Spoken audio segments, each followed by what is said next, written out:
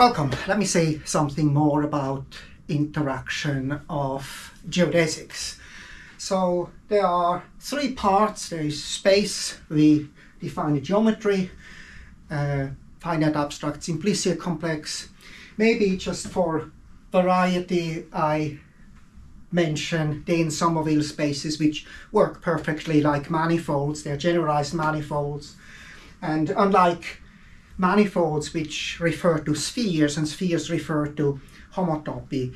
The Dehn Sommerville definition does not need that. It's a recursive definition which is very nice. First you define generalized spheres which are just have the property that all unit spheres should be spheres and that the induction assumption is that zero is a minus one generalized sphere and then you define a Q manifold like before, that every unit sphere should be a Dehn Sommerville sphere. So it's a very natural thing, and in two dimensions, the first time it becomes a little bit more interesting. You can take two spheres and glue them together at two points, and you have this uh, property.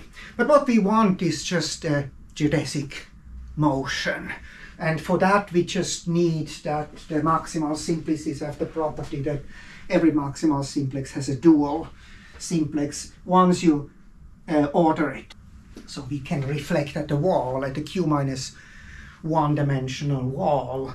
And that's an assumption which is very natural, which happens for manifolds, and it happens also for Dehn Sommerville spaces. So that's space.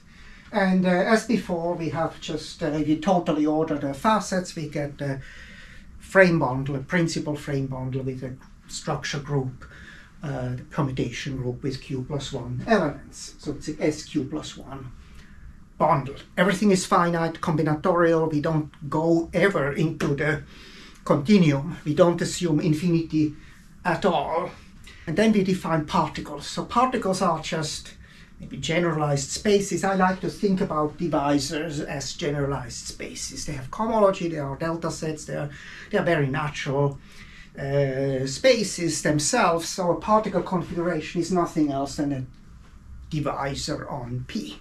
So what it is, it's an element in the free abelian group generated by P. It's also very natural, especially because one has in a discrete Riemann-Roch theory, one looks at such divisors. And here we have a graph we can actually connect to. We have this uh, kind of, if they are dual to each other, so kind of we connect like this, and then we have a graph, a triangle-free graph, and a Riemann-Roch, uh, uh, discrete Riemann-Roch theory works there, and so there we have divisors. So divisors also motivate and you know why we want to have positive particles and negative particles. So in this case, divisors naturally have positive parts and negative parts. Also, the particle position is actually just a not ordered simplex. Element in the simplicial complex. That's matter.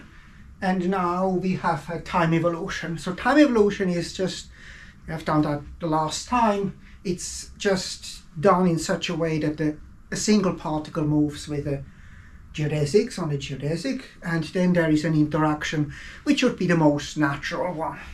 We don't want any parameters, we don't want any choice.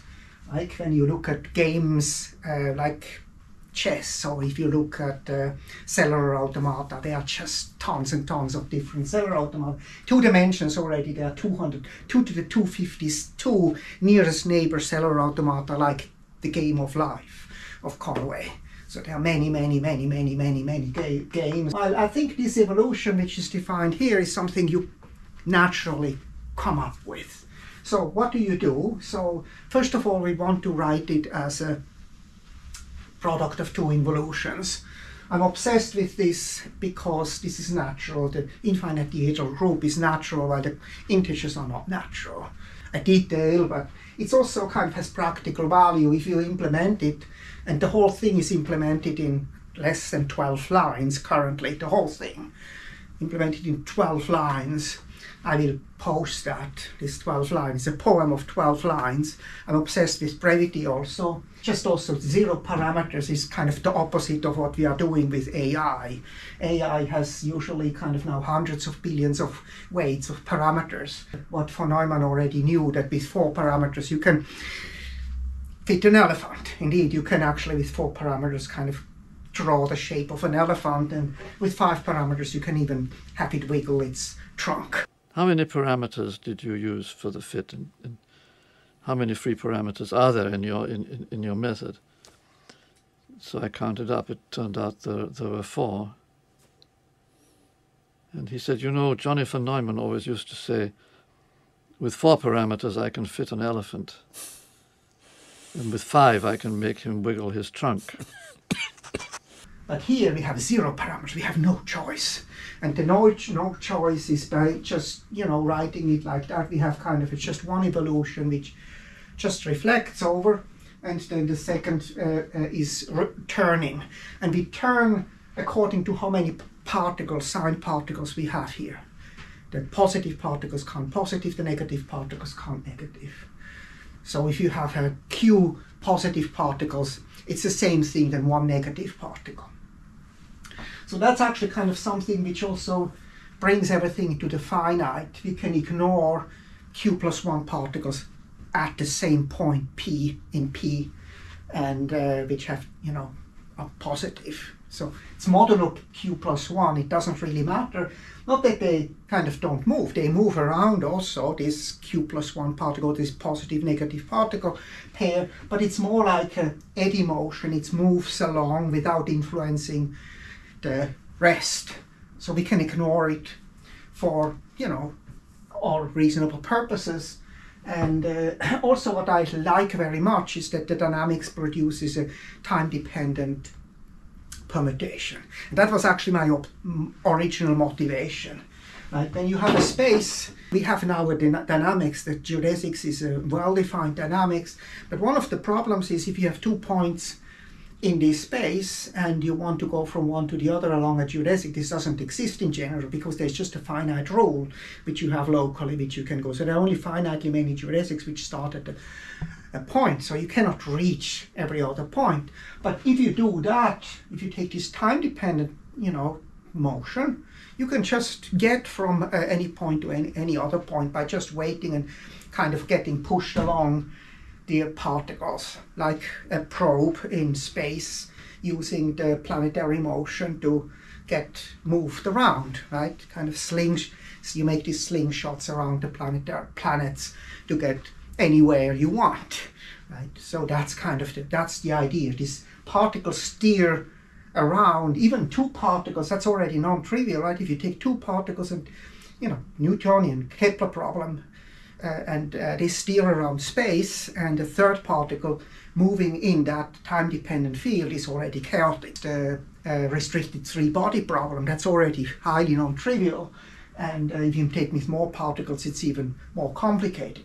Planets moving with the sun moving around and you have an interesting symplectomorphism, time-dependent symplectomorphism which you can use to go from essentially any point to any other point. So I call this the eddy motion, and that, that that's actually was my original motivation even to look at this whole thing because I was frustrated by having no Hopf-Rinow's theorem. Hopf-Rinow's means also that you, any two points can be connected by a geodesic, at least one. And uh, now this becomes possible because we can use all these particles pushing us around. And it's also natural because in physics that's what happens. We have particles. We see that in physics. But in one dimensions we have particles can either move through each other or they can bounce off each other. So it's and if otherwise they move freely.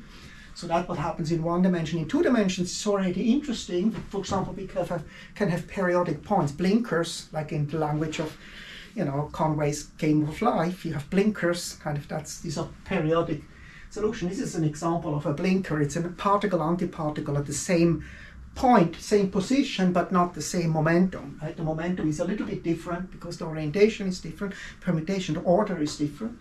And so this is a blinker. So X and Y, this is a particle antiparticle pair at that point, one, two, three. We have a pair antiparticle pair here, and then in the next step, this pair antiparticle pair goes here, so this flips forth and back. But then when another particle comes, this has an effect and it, they will move differently because they have different momentum. So they move apart. And so you have this blinker, you have the particle coming and then poof, they go all away. But that's just one example of many, many different examples of dynamics which you can study. And that's only in two dimensions. I think in three dimensions it's even much more interesting. And uh, you can look at that on any Sommerville manifold. And it's a game with zero parameters. You have no choice for the rules. That's it for today.